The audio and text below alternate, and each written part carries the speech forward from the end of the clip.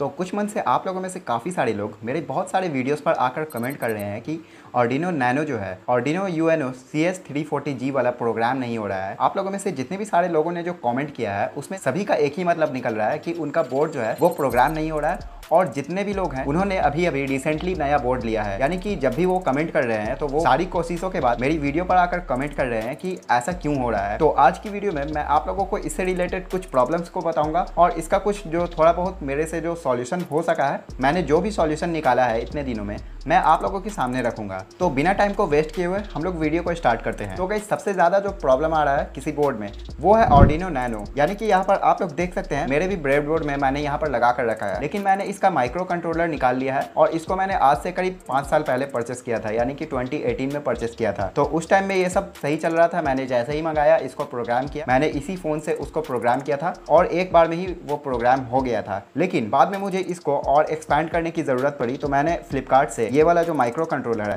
ATmega three two eight थी मैंने इसका बूट लोडर बंद किया हुआ मंगाया और उसके बाद मेरे पास कंप्यूटर था नहीं लैपटॉप था नहीं तो मुझे प्रोग्राम करना था। तो ऐसे केस में मुझे इसका माइक्रो कंट्रोलर निकालना पड़ा और अब मैं इसको as a programmer IC use करता हूँ। यानी कि इस बोर्ड में मैंने माइक्रो कंट्रोलर तो निकाल लिया है, लेकिन इसके नीचे जो लगा हुआ है C S three forty G जो प्रोग्रामर आईसी है, वो इसके अंदर लगा हुआ है। इसकी हेल्प से मैं इस ATmega three two eight P को प्रोग्राम करता हूँ और जो सेकंड सबसे ज़्यादा बोर्ड में जो प्रॉब्लम आ रही है, वो है Arduino U N O C S three forty G वाला। यानी कि आप लोग यहाँ पर देख सकते हैं स्क्रीन पर। और ये है ऑर्डिनो नैनो तो इन दोनों बोर्ड में हम लोग जब भी प्रोग्राम करने का अटेम्प्ट कर रहे हैं तो ऐसा नहीं हो पा रहा है कि हमारा बोर्ड जो है प्रोग्राम हो जाए। हम लोग एक से दो बार, दस बार, पंद्रह बार, बीस बार, आप लोगों में से कितने सारे लोगों ने तो बोला है कि मैं बहुत ही कोशिश कर रहा हूँ, लेकिन ऐसा नहीं हो रहा है। यहाँ पर इसका सबसे पहले हम लोग रीजन जानते हैं कि ऐसा क्यों होता है। तो जब मैंने इसके बारे में सर्च किया तो मुझे ऐसा पता लगा कि उसमें से लगभग छह मंथ पहले ही आप लोगों ने परचेस किया है। छह से सात मंथ ही हो रहे हैं। तो अब ऐसे केस में होता ही है गाइस की एक ओरिजिनल ऑर्डिनो होता है, जो कि हम लोगों को इटालियन वर्जन होता है, वो हम लोगों को ओरिजिनल मिलता है। उसका कॉस्ट भी ज़्यादा होता है। लेकिन ये जो हमारे पास है, ये चाइनीज़ वर्जन है। तो इसका कॉस्ट भी हम लोगों को लगभग सेवेंटी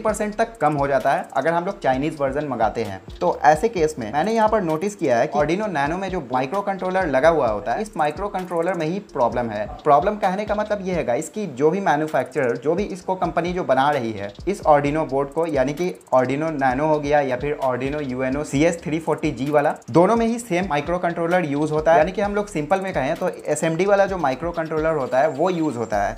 ये वाला यूज़ नहीं होता है। तो इस केस में मुझे ऐसा लग रहा है कि, कि जो भी कंपनी इन दो ऑर्डिनो बोर्ड्स को बना रही है वो इसका बूट लोडर बर्न नहीं कर कर दे रही है। ऐसे केस में मैंने जब इसको ट्राई किया तो ऐसे केस में जो एरर हम लोगों को देखने को मिल रहा है वही सेम एरर मुझे बिना बूट लोडर बर्न किए हुए माइक्रो कंट्रोलर में प्रोग्राम अपलोड करने पर मिल रहा है। तो यहाँ पर मैं नाइनटी परसेंट श्योर हूँ कि जो भी आप लोग बोर्ड मंगा रहे हैं यानी कि ऑर्डिनो यूएनओ हो गया C S three forty G वाला और नैनो इन दोनों में सेम माइक्रो कंट्रोलर है। इसका जो माइक्रो कंट्रोलर है बूट लोडर बर्न किया हुआ नहीं है। इस वजह से ये प्रॉब्लम आ रही है। तो सबसे पहला सॉल्यूशन ये है गाइस कि आप लोगों को इस बात को कंफर्म करना है। जो भी आप लोगों ने बोर्ड को मंगाया है, आप लोग एक बार लैपटॉप में ट्राई करें। अगर आप लोगों के पास नहीं है तो आपके फ्रेंड्स या फिर फैमिली मेंबर में किसी के पास भी है, या फिर किसी रिलेटिव के पास है तो आप लोग उनसे थोड़ी देर के लिए मांग कर, या फिर उनके घर पर जाकर आप लोग इस बोर्ड को प्रोग्राम करने का ट्राई करें। अगर तब भी नहीं होता है सेम एरर आता है। तो फिर आप लोगों को जो दूसरा सॉल्यूशन है, मैं आप लोगों को वो बताता हूँ। तो अब दूसरा सॉल्यूशन ये है गाइस कि अगर आप लोगों का जो बोर्ड है आप लोगों ने जिस भी वेबसाइट से मंगाया है अमेजोन फ्लिपकार्ट या फिर किसी अदर वेबसाइट से तो वहाँ पर आप लोगों को एक ऑप्शन होता है रिटर्न करने का। तो सिंपली सा आप लोगों को इस बोर्ड को एज मच एज पॉसिबल आप लोगों को रिटर्न कर देना है और ऑर्डिनो यूएनओ ये वाला जो माइक्रो कंट्रोलर होता है, इस माइक्रो कंट्रोलर वाले ऑर्डिनो बोर्ड को आप लोगों को ऑर्डर करना है। ये हो गया गाइस दूसरा सॉल्यूशन अब थर्ड सॉल्यूशन के बारे में बात करते हैं। अब जो तीसरा सॉल्यूशन है, वो भी कंप्यूटर पे ही डिपेंडेंट है। मेरे यहाँ पर कहने का मतलब ये है गाइस कि अगर आप लोगों ने बहुत ज़्यादा ट्राई किया है और आप लोगों का जो रिटर्न डेट है, वो एक्सीड कर गया है। अब आप लोगों के पास कोई ऑप्शन नहीं है इसको रिटर्न करने का। तो सिंपली सा आप लोगों को ये करना है कि अगर आप लोगों के पास ऑर्डिनो बोर्ड एक्स्ट्रा है जो कि ऑलरेडी प्रोग्राम हो रहा है और इस बोर्ड को, जो भी आप लोगों का बोर्ड प्रोग्राम नहीं हो रहा है, उसका जो बूट लोडर है, आप लोगों को बर्न कर देना है खुद से। अब आप लोगों में से काफ़ी सारे लोग बोलेंगे कि बूट लोडर बर्न कैसे करना है। तो आप लोग इसके बारे में यूट्यूब पर सर्च करेंगे तो आप लोगों को बहुत सारी वीडियोस मिल जाएँगी। आप लोग वहाँ से जाकर इस ट्यूटोरियल को देख सकते हैं कि कैसे आप बूट लोडर को बर्न करेंगे। वो भी बिना माइक्रो कंट्रोलर को रिमूव किए हुए। सिंपल सा सा कनेक्शन होता है, आप लोगों को बूट लोडर बर्न करने का, आप लोग सिंपली सा, आप लोग ये काम खुद से भी कर सकते हैं। बस आप लोगों को थोड़े बहुत स्टेप्स जो है, वो ध्यान में रखना है। तो गाइस मैंने आप लोगों को यहाँ पर तीन सॉल्यूशन बता दिया है। अगर अभी भी आप लोगों का कोई सा भी डाउट है तो आप लोग मुझसे नीचे कॉमेंट में पूछ सकते हैं, या फिर मेरे इंस्टाग्राम पर आकर आप लोग वहाँ से मुझे डीएम कर सकते हैं। गाइस अगर वीडियो थोड़ा सा भी हेल्पफुल लगे तो आप लोग इस वीडियो का एक लाइक करके